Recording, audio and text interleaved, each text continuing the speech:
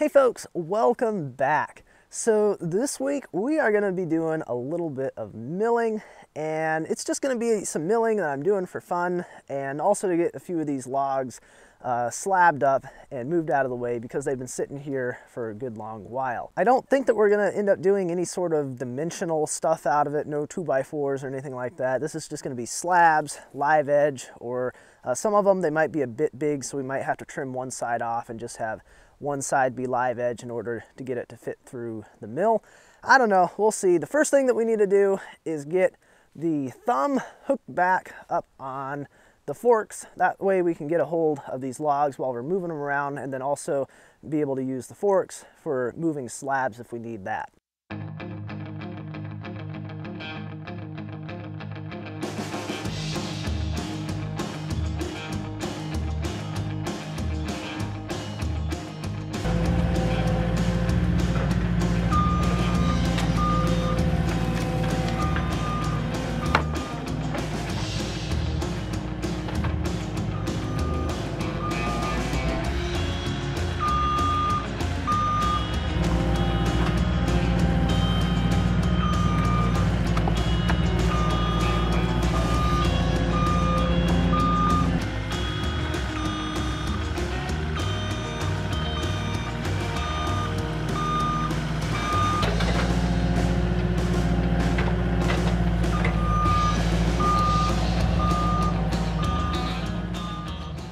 So this first log we have here is a white oak log and this was actually given to me by the guy that sold us the white oak logs that we used for the deck boards for the covered bridge that is not currently covered. Um, this is one that he had laying around here. It's kind of an odd shaped one and for the most part he's selling to uh, companies, to sawmills that are looking for straight, really straight grain uh, logs for doing dimensional lumber and not people that are looking for interesting logs to cut up for slabs. So anyway, he gave this one to me. He just threw it on top of the rest of them that we were getting. And so it's been sitting here for about a year now and I haven't gotten around to doing it, partially because I hadn't been able to decide how I wanted to cut it. And the reason for that is that we got here what I do believe is a burl. Uh, it's possible it could be an old branch that was coming out through here and it's just really well healed over, but I'm, I'm hoping it's a burl. And the problem is this is too wide for my mill. Now, what I think I'm gonna do, and it's really weird, but I think it's the way I wanna do it, is that I'm going to flip this 90 degrees with the burl facing down. So this will be kind of in between a couple of log bunks. And then we'll make a couple passes taking wood off to about where the measuring tape is here. At that point, it'll be narrow enough that it'll be able to come through here and slab the rest of this log in this plane. So there's only gonna be about eight or 10 inches of wood at either end because it's got this sweep in it. But then over here, it's gonna be about 22, 23 inches wide. But like I said, I really want to get some slices through this thing to see if there's any interesting grain in there. So that's kind of the only way that I think I can make it work.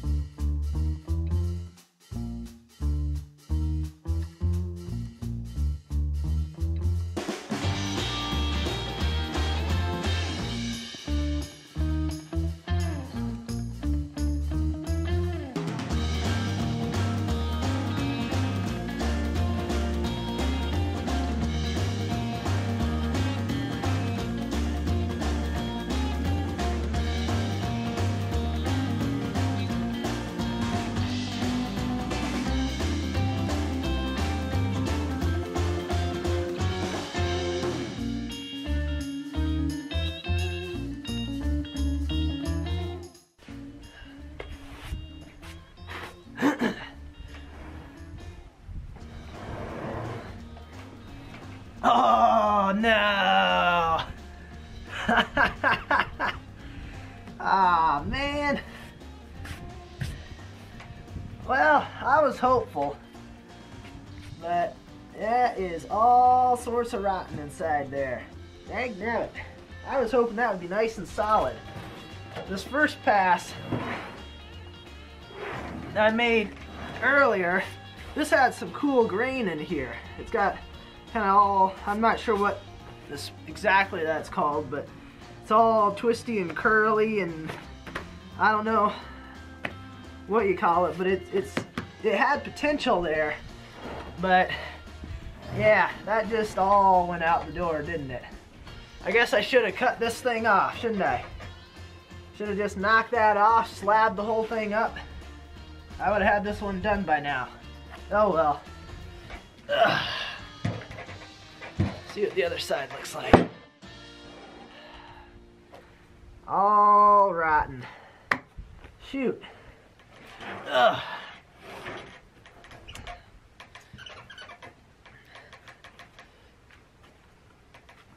Oof.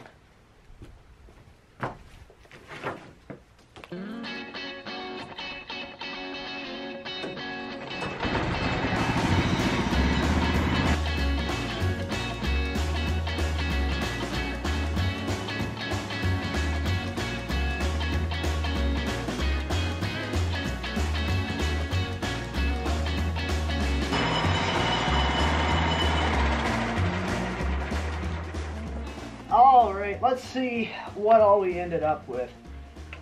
Ugh.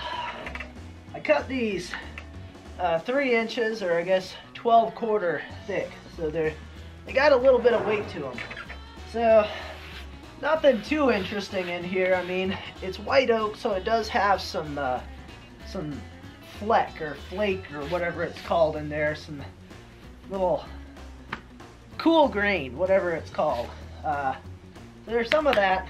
It's it's pretty. It's nothing to nothing to write home about. But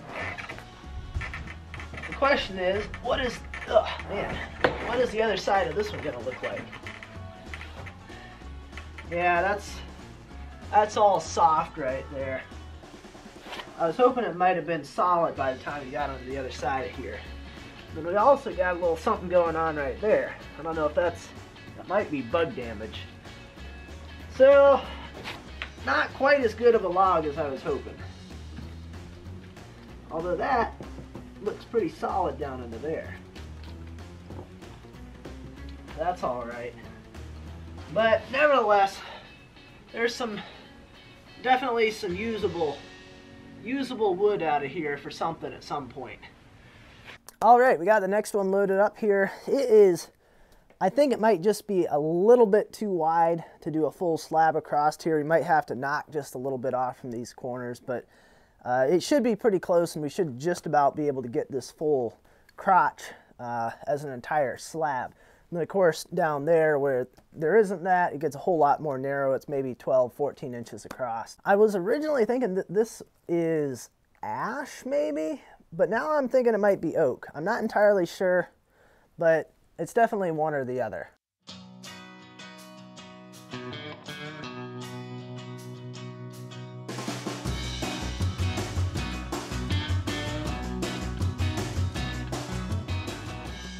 All right, we're gonna move some of these slabs off of here and see what we got. Now that, that is pretty. It's got some kind of wavy grain in there. If the rest of it looks this good, this may be a pretty nice log. Trying to get this moved off of here without knocking into you guys. Should have had you stand a little bit further back. There we go. Now that, that is some weird color. It's also a little bit soft along here on the edge, but I'm not sure. I've never seen oak that looks like this before. Yeah, that's not bad. It's, it's, definitely got a seam all the way up through here that's probably going to split when it starts drying out. But, I don't know. Maybe it is ash. It might be ash. That's what I thought it was originally. I don't know. Let me know what you guys think. Those of you that work with with wood maybe know it a little bit better than I do. Tell me what you guys think. I don't know. I'm going to leave this one on here to weight it down while I keep milling.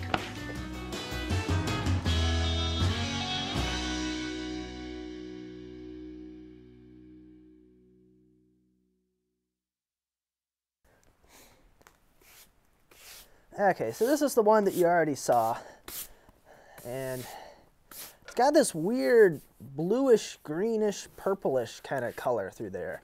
Which, I don't know, that's just kind of, it's kind of throwing me. I've seen colors like that in poplar before. But, I don't know. It's kind of weird. Yeah, I probably should have gotten this one cut up a little earlier than I did because it's definitely getting a bit soft going down through the middle there. Down here, it's still pretty solid, but all the way the rest down through there, it's good.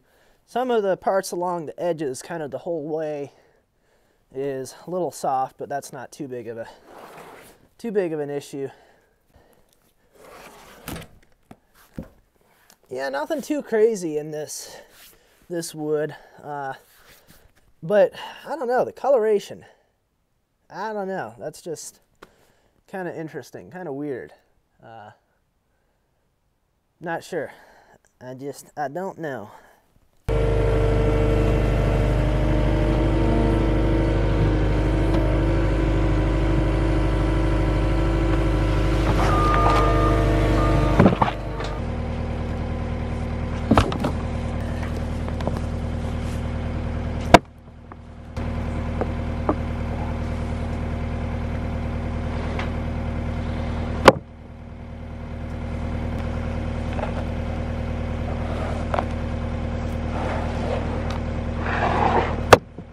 All right, so we're moving over to this pile. This is right up against the property line, against the fence back here. And I'm trying to decide which one I want to work on next. This one right here is a poplar. It's a poplar crotch. It's pretty big and the outside of it is getting pretty soft. I mean, I can just peel that right off from there pretty, pretty easy. So I'm not entirely sure what the middle's gonna be like. Uh, this one we may just kind of cut up and then end up using for firewood. I don't know. But back behind here, we've got some interesting stuff. So this, this one right here is from the big uh, five, six foot white oak that came down along the property line. This is actually a branch out of there. And at some point I want to get those milled up. But then back here, back here we have something that is legitimately a mystery wood to me.